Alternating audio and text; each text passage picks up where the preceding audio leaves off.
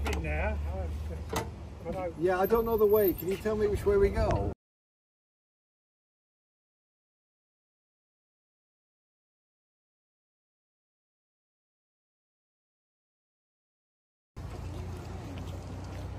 The Great Laxey Mine Railway!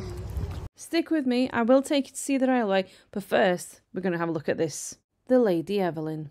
As I arrived at the Great Laxey Mine Railway, this water wheel caught my eye. Oh wow, look, there's another wheel!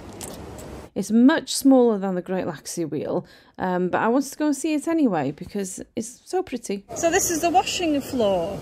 So they used to wash the, the ore, yeah? An ore is a chunk of metal that they get from the ground, but it would be covered in dirt. So yes, as I just explained to the kids, this is the washing floor. It's just underneath the Great Laxey Mines Railway, which is just above us here. The whole point of the rail was to transport the raw ore down here to the washing floor, where it would be washed and then sent down to port by another little train. I won't go into the history of the railway now because you'll see it later in the video. I promise you I will take you to see the railway in a second, but before I do, I'm going to go and check out this water wheel. Dotted around the site is these information panels with information about everything about the process of the washing, right down to the water wheel itself. The placement of that bin really annoys me. Moving on. So this is the second water wheel in Laxey, and it's the Lady Evelyn, and it was reconstructed in 2006. It's not moving today, but there's scaffolding up top, so I assume they're repairing it. And then up over there is the Great Laxey Mines Railway. Let me swim you in. There. And it goes through a tunnel right there.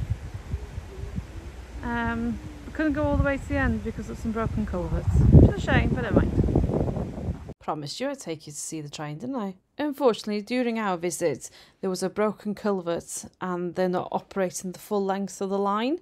Because of the short distance, they can't use the steam trains. So we had this lovely little diesel electric thing. The electric one was called Wasp, while the steam ones are called Bee and Ant. Now, I reckon there might be a theme going on here. The tunnel that you see here is the only true railway tunnel on the island. Normally, about this time, I'd be telling you some history about the railway, but I'm not going to do that this time because our guide in the red here is so fantastic. He will tell you everything you need to know. You just have to bear with me a second. I'm going to leave you for a bit so you can hear some authentic railway sounds.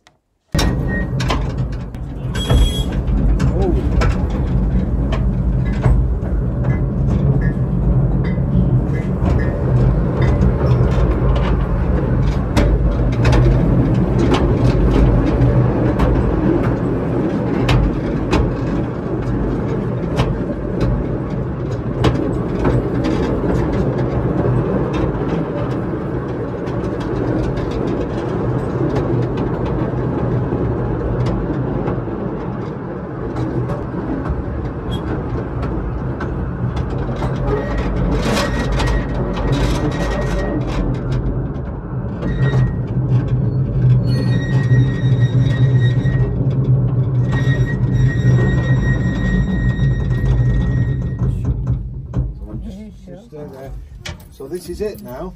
Not through our choice. So the, the culvert, so the, the government, just to show willing, have dumped a big digger there. So we've raised our expectation that something was going to happen. The digger's still there, still in very good condition because it's not used.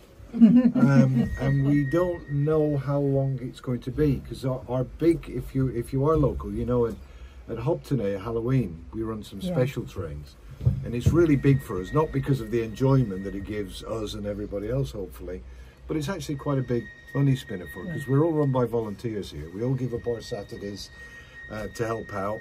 And we all like a nice team. We're all a lot of fun. We all like each other. Well, apart from Andrew over there, but it, we all like each other. All, I feel sorry for him. He likes that. He likes that. No, but we all have a good time here, and we all trying to do our little bit for the for the railway. So it's a bit frustrating that we can't go to the end. But we would have got a, another few hundred meters down there to the outside the mine Adit. The mine Adit is the lowest level that you can access the mine. So if you've been up to um, the the Laxey Wheel, for example, you can go in the mine there only about 20 yards, but it's part of the same mine, just a higher level. And so the Laxey wheel would have been working away and pumping the water out at the same level these trains were being going in. So it's quite a remarkable feat of engineering. Except, of course, you had the ladders for the miners in the early stages, and they brought the zinc and lead up in a bucket and a rope. Later on, the Laxey wheel was also used through a mechanical lift, and it helped bring the ore and the miners up and down. So that was much later on. But 1929, the bottom just fell out of the market. It was a huge operation to keep going. So they just closed it down, scrapped everything. That's why you don't see any of the trucks anymore, any of the original engines. And all the deads, so everything they dug out of the mine that they didn't want, was all piled up here. And in fact, the tunnel would have gone up to the beginning of those trees up there, and all the dead would have been piled up over the top of the, the tunnel here, huge amount, maybe 50 feet high. So when the mine closed, it was just there. And so when it came 1938, 1939, which do you know what happened around then? Very significant in the world. So when World War II started, we, we have some military, they were military training fields at the north of the island. So they took all the deads, all the stone and rock and things up to the north to, to build the, uh, the runways. So after that was all gone, we, then they built these houses here. Now the lovely terraces at the back, which are really traditional miners' terraces, two up, two down, really lovely um, houses. It's called Dumbell Terrace, but it was nicknamed Ham and Egg Terrace. Because back in the day, I mean, even now, the Laxey wheel is still the largest operating water wheel. So even back in the day, it brought a lot of uh, visitors. So some of the lucky miners that lived there, um, they would make they would make ham and eggs, traditionally ham and eggs for the visitors and the miners. And so it's the name has stuck to it. In fact, some of the houses actually have the plaque that says Ham and Egg Terrace on there. Look later. So the, the ore would have been brought down this track. Of course, in 2004, um, when they started to try and rebuild it, trying to bring it back to its former glory, um, there was no track, everything was dug up. And then the tunnel was just, nobody knew if there was a tunnel at this end.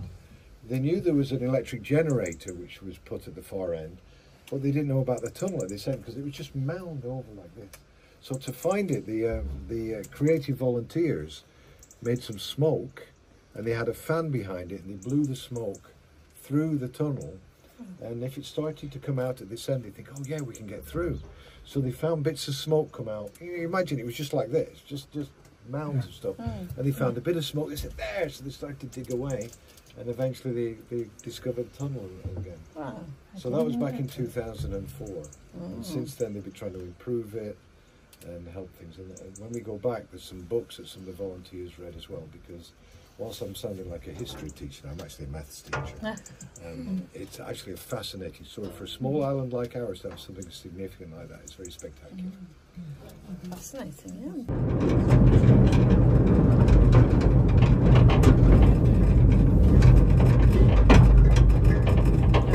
Ah, we found a miner, look.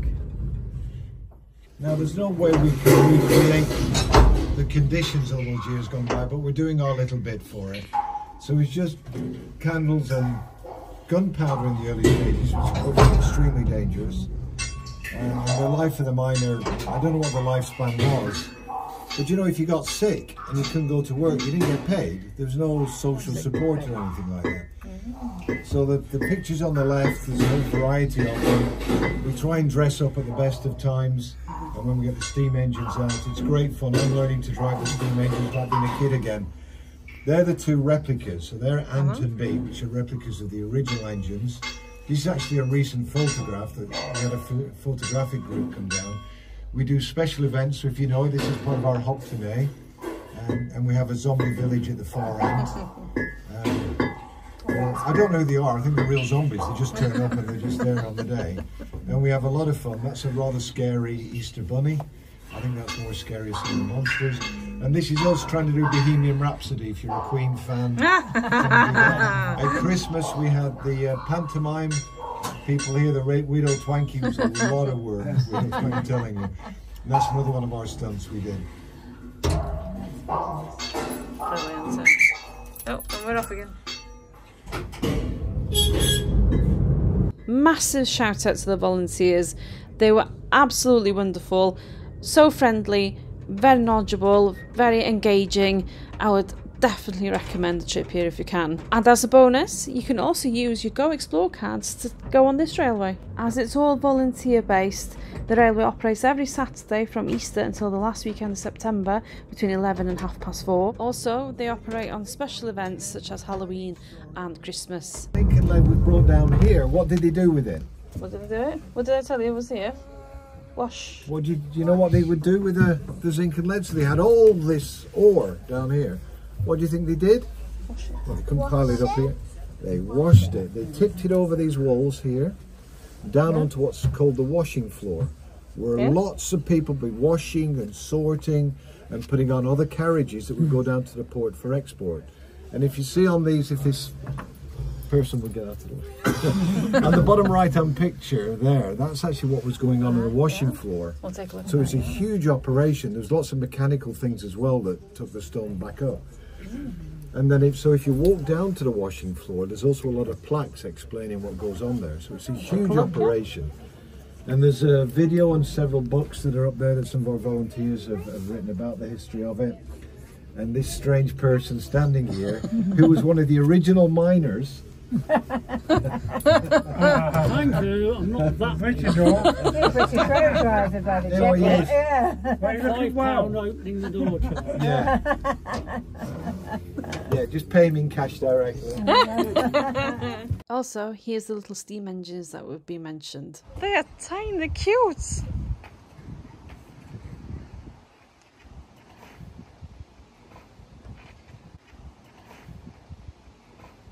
You're driving now. I- I, Yeah, I don't know the way. Can you tell me which way we go? Ta-da! Bye bye.